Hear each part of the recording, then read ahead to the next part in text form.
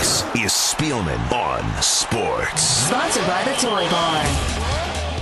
All right, Spielman on Sports back in studio. How's it going, buddy? Doing great. Good to see you. All right, so we're getting closer to all this. Hey, I wanted to ask you about, uh, you know, everyone wants to know, you know, Noah. We talked about his, uh, you know, he's getting to be bigger than you now. I Yeah. mean, what's his high school career? How's that going? Well, uh, he's doing well. He's a two-way starter at Upper Arlington, and he plays hard and he does a good job. And I, you know, the interesting thing and the phenomenon that I'm noticing is that being on the road, I missed a lot of games last year. He got to play a lot of defensive tackle last year. Let's see two or three games, and I'm watching. I got to see two scrimmages this year in the opener, and I get to see the next two games, which is exciting for me. But I, I, I thought that it was an, interesting for me to notice myself and how I am in the stands. And I think back, and I don't know if other parents that were played football at a high level or any sport at a high level watching their children. I imagine all parents feel like I do, but it is just pure torture. I enjoy it and I hate it, all in one. And I hate it because I know maybe I know too much. And somebody noticed me in the stands and they said, "Don't you sit down ever during a game?" And so what I found myself doing, I found myself basically perched in the corner, walking up and down the steps, trying to give him hand signals, not doing what his coaches would never tell him to do, but sometimes he looks up and I'll I'll just say get lower or something like that, and it's uh it's been interesting for me, um, more different I think than watching my daughter when she was a high school basketball player. I mean, I, I know a little bit about basketball, but uh, and watching my little ones do their softball, basketball, or, or soccer, or whatever it may be, because I don't know as much. But when you're in it and you know so much, and you know that uh, for, whatever reason football has a special place in my heart, that it's it's it's more difficult than I ever anticipated. Do you think that it sounds like he is obviously uh, yearning for your advice, but do you think he plays under a certain uh, a different kind of pressure Yeah, to live up to you? We've talked about that, and especially when you're pacing, because then Yeah. he knows that maybe you Not- expect more of him than Not from me, because, uh, and I'll be completely honest with you, which I think I've always been over these airwaves, is that I've always held him to a very high standard. And that's the standard that he set and that he's capable of reaching. Frankly, I don't know how good he can be. I think he's a very good high school football player and only going to get better over the next two years.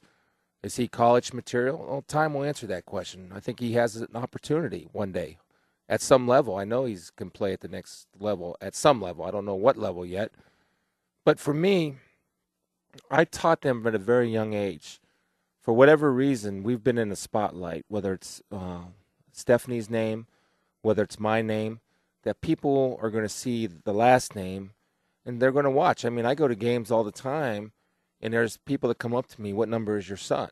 And I know he's being watched, and I know that uh, opponents, in the spirit of the game, whether you agree with it or not, try to get under his skin, and he's got to be mentally tough. And I always tell him that all you have to do is be Noah, and the only thing that's ever expected from you is effort. You're going to get knocked down. You're going to get you're going to get beat once in a while. You're also going to make your share of plays. But for me, for you cannot get rabbit ears. You can't listen to what other folks say. All you have to do is play at the level that you're capable of playing, that you're your own person. You're not me. I don't want you to be me. You're Noah Spielman. And it's time to take ownership of what you do on the field.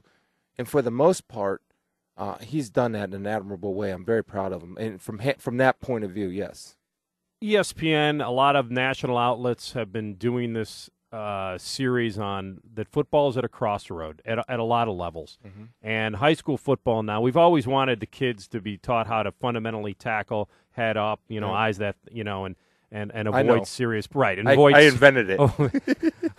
avoid, you know, serious injury. And I got to ask you, there are some, there are some uh, former player greats like yourselves that that have been on the record saying, you know what, I would never steer my son away from it, but if he didn't want to play, it wouldn't bother me that much. Like now that they know what they know, and it, they can't control it because it's their son playing.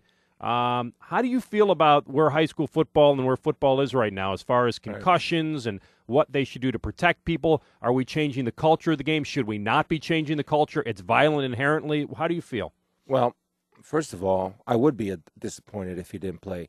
Not disappointed in him, disappointing, in I think what the uh, the important lessons that football does teach, that I think it teaches so much more than all other sports. That's just my opinion.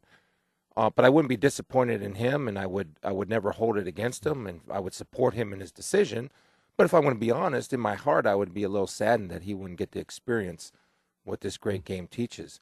Um, being a parent and going to high school meetings, and the precautions that are taken by high schools now, and the fact that they have the physicians uh, heavily involved, the fact that they have baseline tests for high school players, that they're overly cautious in a good way, especially when it comes to head injuries in children.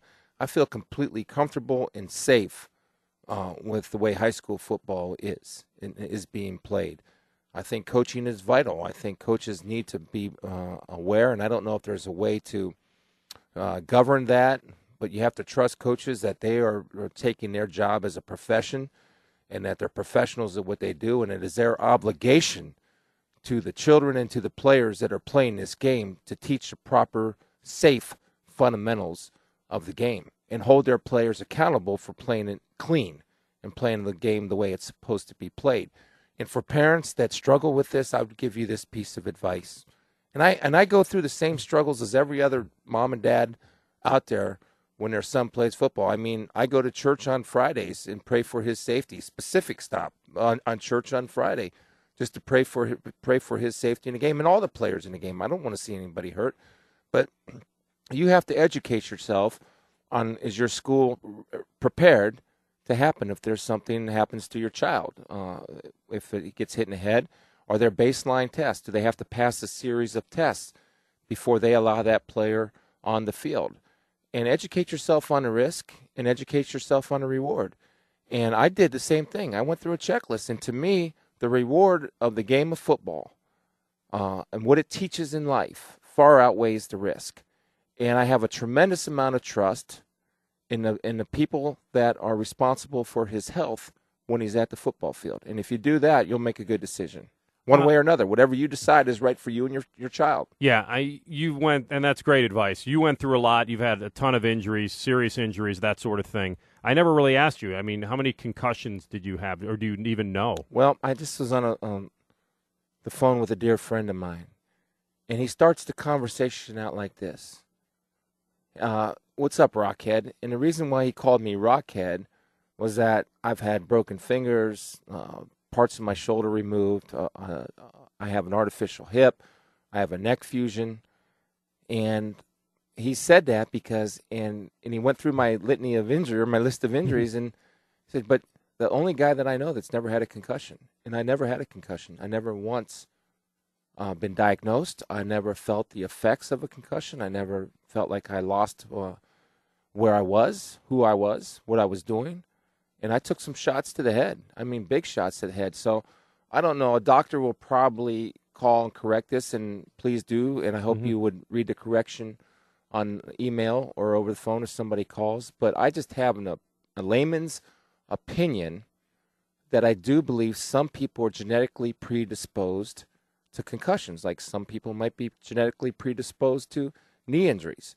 I don't know what kind of uh, blow they can absorb to the head. For me, I have a very hard head, and I've had one ever since I could remember, which I can remember back to when I was two. So there's another proof that I never had a concussion. The guys, and in all seriousness, the guys that played the game at your level that have suffered this, and now there's all this. You know, there there are lawsuits out there, and guys sure. that are suing the NFL based upon there's a fine line between knowing the risk and then feeling that maybe the NFL had more knowledge about putting guys back in the game and how serious this is. Um, I can't say that's true. I don't know. I can only speak from my experience.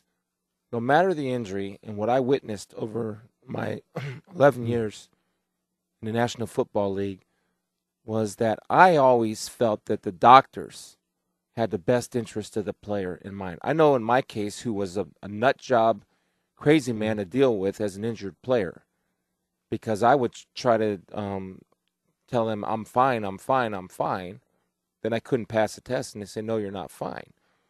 And so they would not let me play. They would not let me practice because I remember asking one doctor this specific question. We were in a, a room alone, and I said, Doc, be honest with me, please. And he said, Chris, I've been honest with you since the day I met you. I said, whose interest do you have in mind? Do you have my interest in mind, or do you have the team's interest in mind?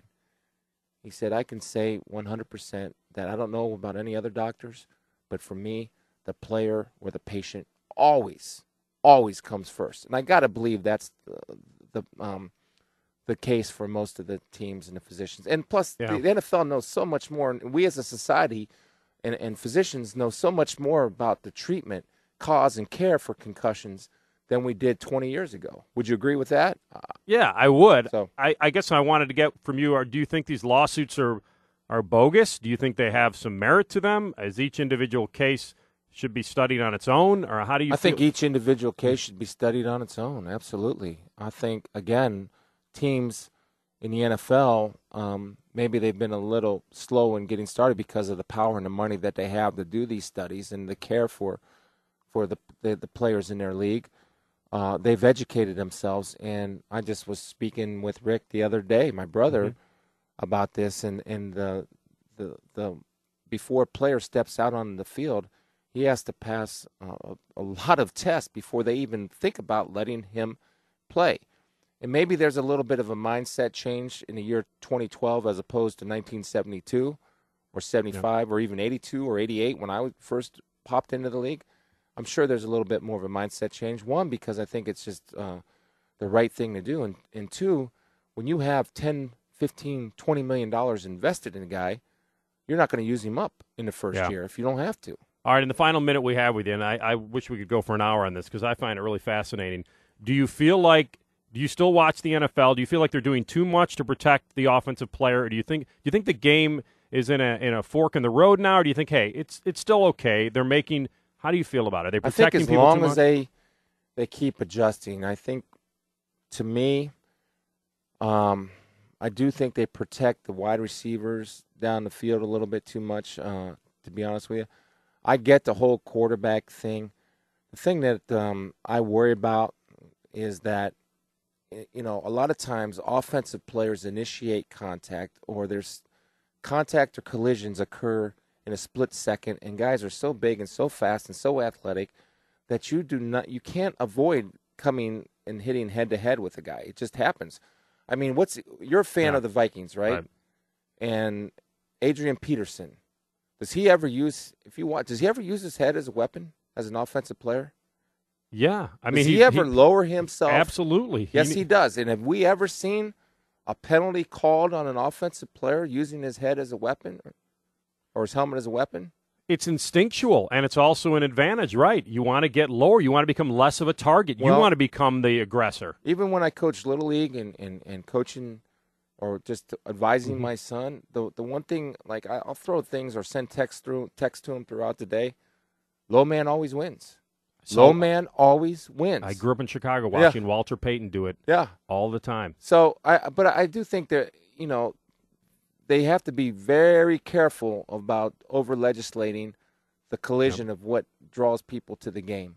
It's the ooh hit that draws people to the game. As long as it's clean, and sometimes you have to launch yourself. I mean, look at the size of receivers. They're 6'3", 240 pounds, and they're running. And if you don't come in with intentions to take this man down, you're going to get hurt. Yeah. And it's just we just got to be careful and, and not over legislating this game. Great stuff, Chris. Have a great week. We'll talk to you on the Tailgate Show on Saturday. Thank you. Spielman on sports. Sponsored by the Toy Barn. Hear it here three times a week on The Big Show, Common Man and the Torn, plus The Buckeye Show. Sports Radio 97.1 The Fan.